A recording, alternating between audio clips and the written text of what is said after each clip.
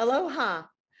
This is Politics for the People, and I'm your host, Stephanie Stoll Dalton.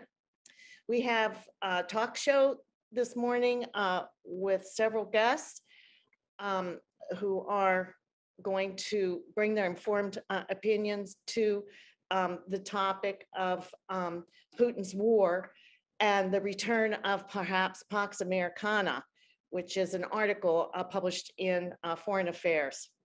And the guests that we have today to discuss this article and its premises and predictions and historical reviews are Jay Fidell and Cynthia Lee Sinclair and Tim Apicella.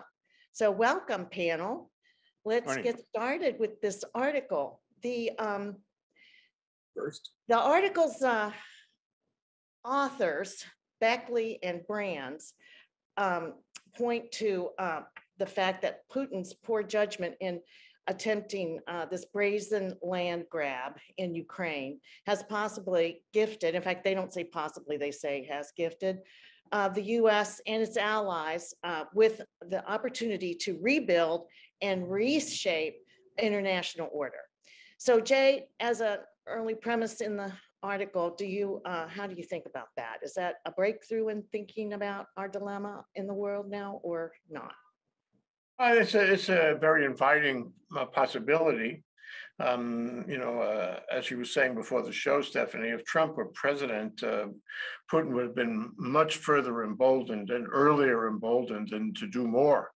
Um, And, and his uh, technique of, um, you know, doing false flags and, and for my money, false threats on people and then doing the very same thing he believes he threatens that they will do. You know, it's cute. It's um, gaslighting is what it is. He's been gaslighting the world. And Biden has developed a strategy to deal with that. I wouldn't agree with everything he's done or not done, but um, he has developed a strategy. And in the process, he has brought Europe together. And um, that is remarkable because Trump did a lot of damage to Europe, uh, to the EU and to NATO. Um, but Biden has brought them together in a, in a coalition. And if you if you want, uh, it's kind of a, a new continent. It's a continent uh, that that collectively, arguably, is another great power. So you have the great power of the U.S., uh, China certainly, Russia at least ostensibly, uh, although that may change with the sanctions, and Europe. Um, so the the balance of these various powers uh, has been in competition uh, since the Second World War. Um, and now the question is whether the US will return to its position of dominance, which I think a lot of people would say it lost in the last few years, and especially during the Trump administration, um, and, um, and be the leader of the free world, be the leader of the world. Um, be, be the, the, the, the, the exemplar of the liberal world order, which we established in the late 40s and early 50s with the United Nations. And so um, I think the article stands for the proposition that there's an opportunity here for the U.S. If it carries on, if it keeps Europe, uh, you know, together, uh, if it, um, you know, somehow contains uh, Putin and, and Ukraine, uh, then it can be, should be, um, the leader of the free world. And given its, you know, high morals, uh, you know, I mean, you can say that it's imperfect, but basically it's the best morality the world has collectively. Um, then we could lead the world into a, a time of uh, Pax Peace Americana. Uh, wouldn't that be wonderful? Uh, I think we kind of had that for a while after the war, but uh, we lost it, and now maybe we can regain it. And that's the, uh, to me, that's what the article speaks. Well, um, Tim, uh, Jay's point is that we may be going to a Pax Americana. Maybe uh, you could talk to what a Pax Americana would look like or has been or is emerging. Can you talk to us about that, please? Well, in my short 63 years of life here on this planet, um, I've never known Pax Americana. Um, before I was born, there was something called the Korean conflict. And not soon after, um Vietnam took place. And then we had all sorts of incursions in, you know, uh, proxy wars, if you will, around in South America. So, and, and of course, the Middle East conflicts, uh, Gulf War and uh, Afghanistan and um, Iraq, and you know the list goes on. Um, Panama, I forgot about Panama, Noriega. you know, so we've had all sorts of military incursions. Um, so really has the United States enjoyed Pax Americana? I, I'm not quite certain it has. I sure like it to be, uh, and I think we all do. But um, as Ronald Reagan said, uh, you know, a strong, you know, peace through strength. And I'm a big believer in that. And I, I believe that uh, there's would be despots and dictators around the world that want to, um, like Putin, that wants the world to succumb to their evil powers. And I say the word evil. And um, it takes, you know, a lot of bullies in this world, and it takes a few strong nations to say, no, we're not putting up with it. And the United States happens to be one of those powers that say, no, you're a despot, you're a dictator, you, you, you've seen, you've had the stage long enough. Goodbye. Well, well, that's interesting. And um, with the PAX meaning peace, of course, um, do you think that, well, there, there are two things. One is, um, did, uh, do you think that peace, as Zelensky meant it in his comments about the, the pre- President Biden's approach or asking, pleading for President Biden to be the leader of the, the global world. And, and if he's leader there, he, he then is the leader for peace. Do you think he meant Pax Americana? The- What? Well, I, I think it, he meant exactly what I just mentioned, and that is peace through strength. Give us the weapons, give us the ability to fight off a dictator and an incursion, an invasion, and full of war crimes. Give us the tools that we need to make peace. And that's only one piece uh, Putin understands is warfare. And since he started this incursion, this invasion, um, that is what's required. It'd be great if there could be negotiations and a settlement uh, at the negotiation table, but I'm not sure Putin is really interested in that. I think it's all for show. And what the, uh, Zelensky was saying is, I need to win this conflict to obtain peace. Yeah, to go further, to obtain peace for the world. for the Zelensky world? correctly sees it in a global context. It is, yes. It's not Yeah. just, it's not just Ukraine, it's Europe, and it's not just Europe, it's the world. And I think he correctly sees this whole affair as an inflection point uh, for the liberal world order and the safety and security of every country. Yes, And, and, and, Yeah. and Jay, to that Yeah. point, Tim, we need to see it. The, um, we- the, the countries need, and its, and its, you know, citizens need to see that exact point. We are in a nineteen forty-one in scenario where our isolationism has to come to an end. And Donald Trump put us on that path and it became quite convenient, quite complacent for us to be complacent about it. It's time to get back to where we were as a world power and as a world neighbor. And might does not make right. And uh, these little despot dictators around the world need to be put in their place. And we have to see that clearly. Let me add, Stephanie, we have to Yeah. see that clearly. And you're right in uh, enumerating some of the mistakes we made over the years since the war. Uh, some of the, you know, mistaken adventures hither and yon for various reasons. And a lot of them were, you know, were intended well, but ended, ended badly. Um, and they're covered in that article, by the way, a number of them were yes, uh, according to the writers of that article, necessary, necessary to establish American presidents and values, uh, you know, uh, pre- uh, establish American values in various places in, in order to maintain the balance. Um, but, but if we're smart, if we exercise smart power, then we will be able, at least theoretically, to achieve that.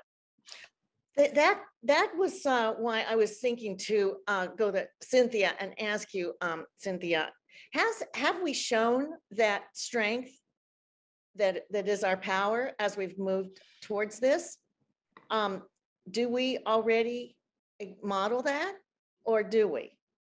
In other words, who, who's setting, who set the parameters here for all of this? Has that come from the strength of uh, US and its allies? And who's setting the red line, drawing the red lines now? Is that the US and the allies, Cynthia? Where's that strength that will get us to the power that will give us the peace in the world? Well, unfortunately, money, you know, and one of the things that I took away from this article was that people are political uh, factions and people, just, you know, independent people are happy to sign for the money to go for all these war machines or to go fight a war or to help somebody else fight a war. But boy, when it comes to the diplomatic money that's required to to really um, ensure that these alliances are going to hold, then oh, nobody wants to spend any money. And so I think until we get to the point where we are willing to spend the money just to invest in the you know NATO alliance, in all of our alliances, and to expand that alliance. You know, over this last few years, we've been reading all kinds of articles about how dictators and autocrats are on the rise. And what happened to all the democracies? Where where did they go? You know, and in this this aggression from Putin right now that's happening, this war on Ukraine, not war with Ukraine, but war on Ukraine. And I think that's an important distinction to make. And it's Putin that's setting all the boundaries. He's setting all the red lines. He's the one who's got the power. And I don't know how we get that back, but I think it needs to be our full focus because until we get that back from him and he's on the run and he's going, well, let's see, I can't do that because they'll do this, you know. And right now it's more like if he does that, we'll do this. And that's given him all the power. So, I, I mean, I, and I'm not a, a great military genius that can figure all this stuff out, but we've got those guys on on retainer, don't we? I mean, Right, right. Hey, Stephanie, I want Okay. to jump in on a comment she made, and that is, and- Sure, and- Tim. and, and don't fall out of your chairs, uh, my fellow guests. don't fall out of your chairs. But there was something Donald Trump did that I, I actually agreed with, and that was to put put NATO on um, the embarrassment. Well, he embarrassed them, but he should have did behind closed doors and say, pay your dues to NATO. The United States is tired of footing the bill 100%. So pay your bill, please. Uh, and because I believe if you don't have skin in the game, you're not committed to the game and uh, their payments to NATO was skin in the game, and they did. I think uh, they brought their accounts up to uh, up. They brought them paid currently. But you know what tipped, you know what tipped the scale on this? It was Putin. It was Putin threatening Ukraine. It was Putin invading Ukraine. It was Putin scaring the pants off Western Europe. Yeah, good um, point, that's Jake. Good the- point. That's yeah. what tipped it. And, you know, the, and the, one of the pieces in this and many other articles, including a number of articles in Foreign Affairs, is that it was a huge miscalculation on his part. He hasn't admitted it, he hasn't bellied up to it yet, but the fact is that he, th- did he win? Did he win? He, he messed up a lot of things. He reduced half of, or more than half of Ukraine to rubble already. That's his style. But, but has he gained anything so far? Only notoriety, only, uh, you know, uh, pariah status. And And- so, and so it was a miscalculation for sure. And that miscalculation is what helped Biden, you know, solidify the EU and NATO. Well, you know, Jay, to Cynthia's point, okay, so what, do- what do we do to pull this uh, alliance together? And if you go back to the article and think about what it it discussed about Truman and how Truman, for all of his little guy thing and uh, uh, not stellar reputation as he got started out of the gate, but he, he went about fortifying the larger world instead of looking to now, oh, now what are we going to do to, save Ukraine? So he took advantage of some lull and some opening that he could build uh, the bigger alliance that then would bring all of that strength to bear. Do you, um, did you, do you call that part of the article and how they were quite complimentary of the way Truman pulled this off? And then that is what uh, established uh, the, the Cold War and, and its parameters for holding the thing together for a while. Well, I think uh, World War II established, I mean, or yeah, at the time, it did establish a great truce around the world. Is that, um, you know, uh, is that uh, if, you- unless you watch out, unless you stop despots and autocrats, uh, they will make a mess. So you have to pay attention. And we knew that for a while after the war, but I think we forgot. Trump certainly forgot. Um, I think we're learning it again now. You can't turn your back on them. You can't isolate because the natural, you know, the, the natural effect is for them to take greater power, do greater autocracy, do war crimes and all that. And we are learning that yet again. We are learning it again. So, I mean, you know, I, I totally agree with, um, you know, Tim's point about strength. And that's a big point in the article. You have got to have strength if you want to maintain a liberal world order. And if you don't maintain strength, you know, you have Neville Chamberlain and you have World War II yet again. And I totally agree with Cynthia that right now, uh, however well Biden is doing in terms of solidifying, you know, the coalition in Europe, the fact is that that Vladimir Putin every day, still today, look at the papers, all of them, and you will see that Vladimir Putin is is setting the agenda. And we have to have to find a way to take that out of his hands. As Trump said, he's very clever. And um, that that is revealed in the fact that he knows how to set the agenda and cow everybody. Um, but that doesn't mean he can cow things forever. And it doesn't mean we can't find a way around his uh, his strategy. Well, exactly. Um, you know, Tim, would you say, um, that, the, uh, something about the point that, uh, of the article that the US and allies have really been living with or have constructed comfortable myths about the, the, the, the, the po- the possibility and, and the, the shackles or the constraints that hold Putin together. Do you think that, uh, the world has been living with comfortable myths that have kept them maybe from being as alert and attentive to, to uh, Russia's aggressiveness and perhaps other, other candidates too, who, who've not risen yet, but could. What do you think about that point in the article, Tim? Uh, Well, I, I've always believed that Americans are naive. I've, I've always felt that way. I think we always think the best and benefit of the doubt and all that stuff. Uh, by and large, are we've been um, Americans are naive, and maybe to our credit, you know, we try to think of the best of of other world powers. Uh, even when you have horrible people like Pol Pot or Idi Amin, the difference is we didn't have interest in there. We didn't have minerals. We didn't have oil. Um, Rwanda, I, I'm reminded about you know the shame that the uh, Prime Minister of Ireland, since it's St. Pat's Day, um, gave Clinton administration for doing nothing in the Rwandan conflict and the genocide, and uh, because we didn't have interest there. Um, we didn't have a political or a strategic military or mineral interest. And that's the shame of how we pick and choose which conflicts we want to engage in. And I, I'm not necessarily want to be the police of the world, but at the same time, when the obvious is going to happen, um, there needs to be a collective action, not just the United States, but other neighboring countries to intercede on the behalf of the victim that's soon to fall because of some despot, uh, crazy dictator that has bloodlust and wants to slaughter everyone in its path. And should I mention Putin in this in this also same sentence? So uh, that's point number one. And then point number two is, um, yeah, we just we need to engage more in diplomatic efforts. And Cynthia uh, made a great point to this. We don't spend enough resources on the diplomatic corps. Uh, Donald Trump gutted the State Department. I mean, absolutely gutted it.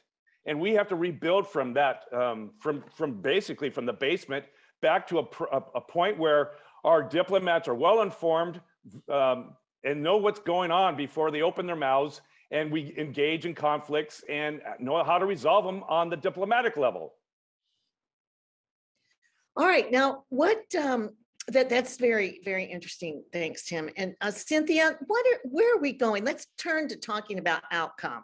So what, what is it that, that we're uh, trying to reshape in uh, the global community? So what, uh, I think that Tim has brought up some issues here about how to be inclusive and be responsive to all needs. But so, is that where we're going and how do we get there? I think that is where we're going. Um, there are things like um, examples of Ireland becoming part of all of this for the first time in history, joining in with the, you know, with Europe to to send things and to be part of the the um, the hand reaching out to Ukraine. Um, I don't think Putin cares that he kills everybody. I don't think he cares one bit about this scorched earth that he wants to do that. The only thing he wants out of Ukraine are the minerals. And so he doesn't care if it's just leveled. Right? And so if you think about that, and that's what he wants, if that's all he wants, then how do we stop that? Because so that's when, you know, maybe we do need to get involved. But like Jay was talking a little while ago about him doing the whole false flag things and um and I agree with that. But I don't think it's just gaslighting. I think it's a very specific tool called projection. And I have looked at everything Trump did while he was in office with that spyglass of projection because it seemed that often usually i'll say that um that's what he was doing. When he was accusing someone else of doing something it was the very thing that he was doing himself. So um i think that that's putin also. I think everything he says has to be looked at with this lens of projection. Is he really accusing someone else or is, is that something when he accuses someone else is that not something he's going to be doing himself? Like the chemical um, attack things like that.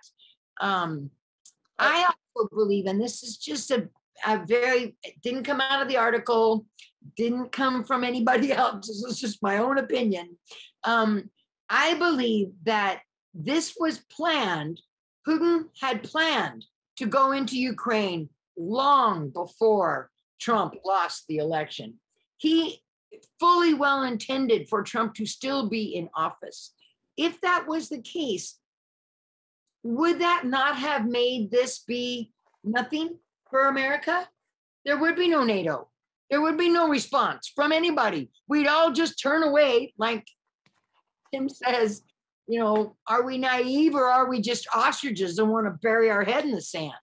So, um, you know, I, I worry about that. And I wonder, in that same sense that Trump had set up the um, the, the removal from Afghanistan, right? It- he released all of the prisoners that we'd spent 20 years um, capturing, and including the head of the Taliban, so that he could reestablish his his government, and made it be that Biden was in a position where he either had to send in more troops and fight the same fight that he had already fought for the last 20 years or leave.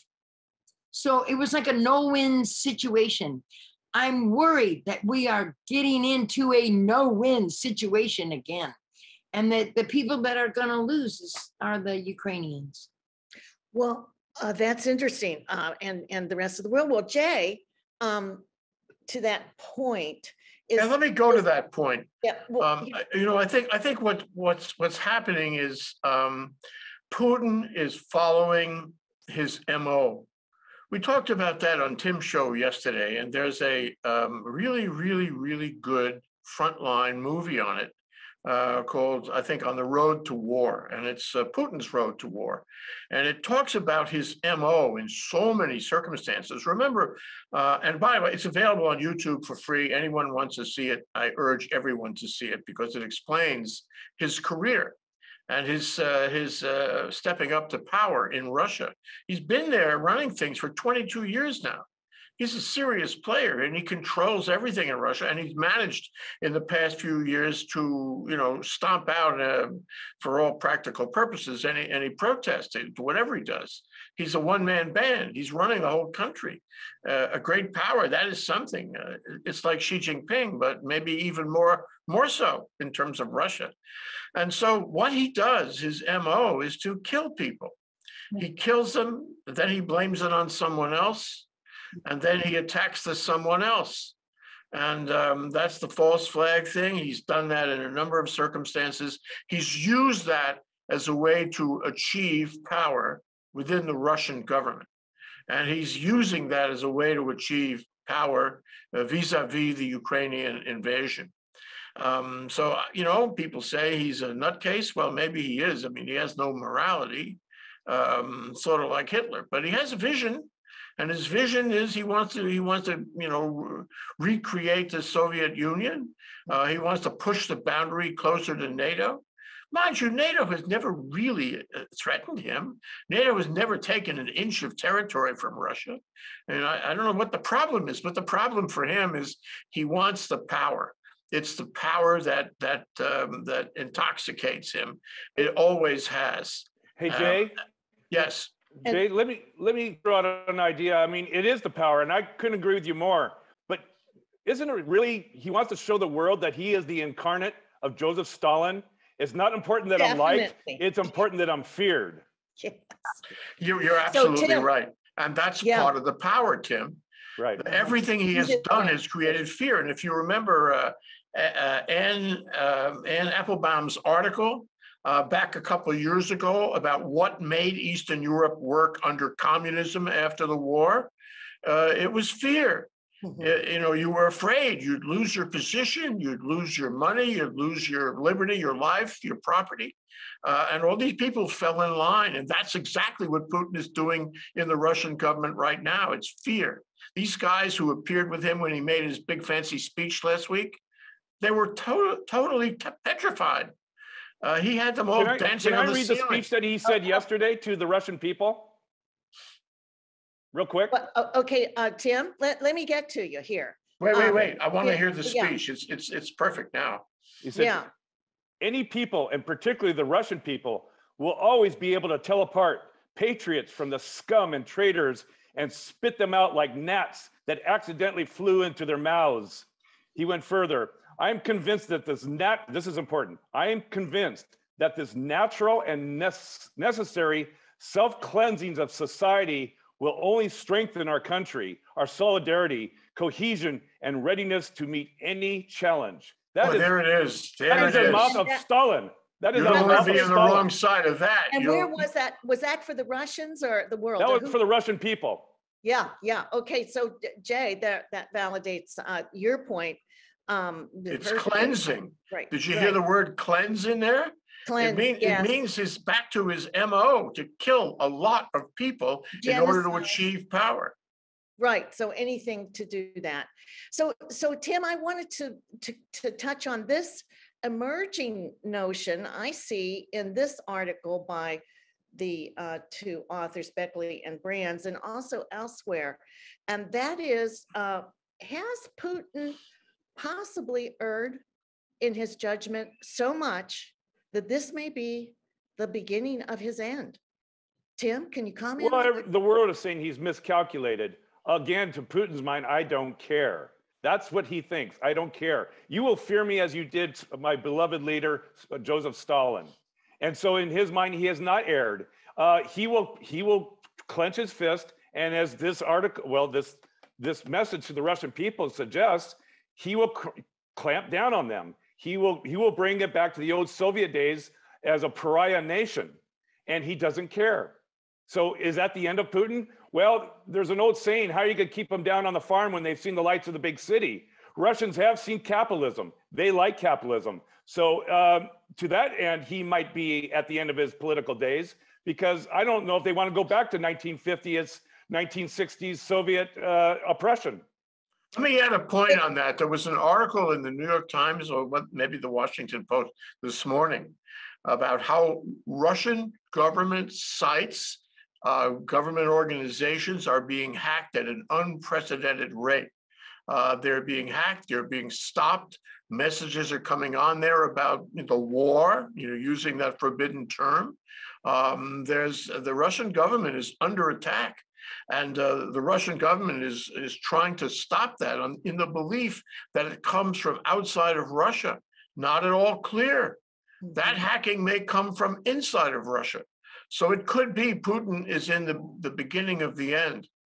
Yeah, good point. And um, I think I'm, I'm hearing often that actually Putin does care about something.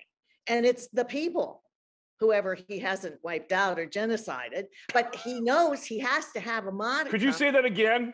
That, that last sentence? Could you say that one more time, please? I said that the one thing he does believe in, that he does care about, is people that are going to function for him to keep him in power. The, the ones that he hasn't slaughtered and, and The ones that are not yet Right, uh, okay. dege- I thought that genocided. was what you said. Don't Thank don't you. forget the ones who live in But- fear, But fear remember, of the old KGB coming back. of fear course, of what Anne Applebaum wrote about Eastern Europe, fear of, of, of, of losing your land, your property, your life, and spending, and That's spending a lot of And time in imagine if it- Siberia or Lubyanka prison. And your And so children to to go to report you if you Cynthia- step out of bound. Yeah, and to go to Cynthia, that um, this is arising, that um, as we've, all- as I've heard, uh, that the soldiers are even, uh, you know, having some problems with this. Arnold Schwarzenegger just sent a big tape over to the Russian people.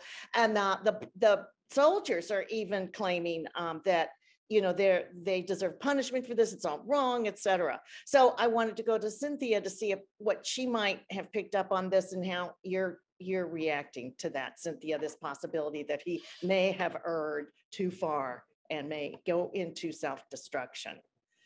Well, I think there's a lot of people praying for that right now. And and you know what you said about, about the thing he does care about, the people, well, maybe the ones that he hasn't cleansed already. I don't know. I don't think he cares about anybody, anything except for his own ego and his own power. He is the, you know, the extreme version of a narcissist with way too much money and way too much power. He's the Donald Trump of the East. Thank you very much. I'll go with that one. Now, I think that all of you are absolutely correct, but whatever the structure of the country is, is what I'm talking about, is the minimum. He has that piece, he understands that that piece has to be there. But anyway, that's what's coming up, is those things that will attest to his power and his position. He's going to protect whatever it takes to get that to happen. So, but I'm hearing from you what, you don't believe, believe that that is possible, he's totally At all. I don't, unassailable. unless it's Unassailable. benefit, he doesn't care about people at all. But you know, I, to, to make a little bit more on Jay's point um, about the being hacked, I was watching a, a, a thing about that the other day and they were interviewing some of the hackers, right? And one of them may very well be in Russia because he was, you know, in this big surround thing, shroud, so you couldn't see him and his voice was changed. Um, but they aren't just going after the government, they're going after businesses, local businesses. They're going after individual people, calling them on the phone, saying, "Hey, did you know?" And and the guy said, you know, some people just get mad and yell at us and hang up, but some people are open to it and they have questions and they want to know more. So maybe that's where we can really sort of try to make some inroads with the Russian people because right now all they see is his misinformation. He shut down all the internet. There's no Twitter, there's no Facebook, there's no Instagram, there's nothing except state TV. So that's all they get. And so, you know, anything that we can do to, you know, flood their the little bit of airwaves, these are direct telephone calls they're making. Somebody figured out a way to hack the the lines so that it used to block any incoming calls from outside of the country. And they figured out a way around it so that they can call in to individual people. And that i You see- know, we used to have a, Running out, well, we're running out of time. Something called Voice of Let me just America? Interject here, we're gonna, we're gonna make one round here because we're out, we're, um, we're out of time. So let's just, let's just start with the round. I'll start with you, Tim, and then back to Jay. yeah, oh, thank you. Cynthia. Hey, uh, uh, Cynthia, we used to have something called Voice of America. Uh, Previously, it was referred to as Radio Free Europe. Guess who got that program? Uh, Donald Trump, by the way. Trump. So my last thoughts are, um, the world needs to not let up. The world needs to get more engaged, more sanctions, more military assistance. I agree with the, uh, you know, keep NATO out of uh, accelerating this to a World War III, but more engagement and don't let up and give Zelensky what he wants. If he wants MiGs, get him MiGs. Uh, our generals say he doesn't need them, but guess what? His generals say they do need MiGs, so get it to them. They know what they want. They know what they need. Okay, Jay, last comment. I agree with that absolutely. And every day that goes by with all those people being killed, oh gosh, it tears my heart. And what it says is we've got to we've got to give them uh, you know air cover. We must give them air cover. Um, otherwise, they're just fish in a barrel. Uh, but no, I, what I was gonna say is this, um, you know, there's two things happening here. Uh, you know, one is, uh, uh, Putin's call it a battle with his own people. Uh, trying to do propaganda on them and squash them and arrest them and throw them in jail for speaking out. That's one thing, and it's hard to say where that's gonna go. I like Cynthia to be right. Uh, I, I like this, you know, I like this to actually take root and the country rise up and oust the bugger. Um, but at the same time, the other, the other thing that's happening is, is Europe. Um, we have to keep Europe together. And uh, you can bet that uh, Putin is trying to do just the opposite. He feels that if he keeps on killing these people in Ukraine, they're going to be discouraged, they're going to be disheartened, um, and, and they're going to give up. And if they give up, hmm, maybe Europe gives up. Uh, and here's the last thing I leave you with is that don't forget, we have an election in six, eight months. Don't forget, we have an election in 2024. It is not at all clear that Biden and his policies and his abilities, which have been really good and helpful in this regard, uh, will continue. And if a uh, Republican, God forbid, Trump or anybody like Trump gets into the Oval Office, they're not going to continue those policies. And so, um, you know, Europe could easily come apart. And at that point, we are in the proverbial kimchi. Mhm. Thank you, Jay. And uh, that is, that is a dire thought. And um, uh, Cynthia, would you like to uh, respond to what, where we are now then within these global events that include our domestic one? The I- elec- on a positive note, how about that? It was awesome to watch Congress be united while they sat there and they watched as Zelensky gave his speech and they all rose before and after um, with, you know, standing ovations in every country even too. So the one good thing about this, you know, the one good thing that we can take from this is that it's kind of uniting Americans and it's definitely uniting Congress, which is really nice. And unfortunately, it might not go forward, but for now, let's just take one day at a time. Okay, hey, Cynthia, that's wonderful. You've brought us full circle because the Putin's War, this is the subtitle of the article, is, is fortifying um, the Democratic uh, Alliance and certainly uni- and unifying us at home. So interesting comment there at the end. So let's hope we're going to keep going with that. This is uh, Think Tech Hawaii's show, uh, Politics for the People, and I'm your, your show host, Stephanie Stoll Dalton. Thank you for your attention. And we look forward to seeing you again next Thursday at 11 o'clock. Aloha.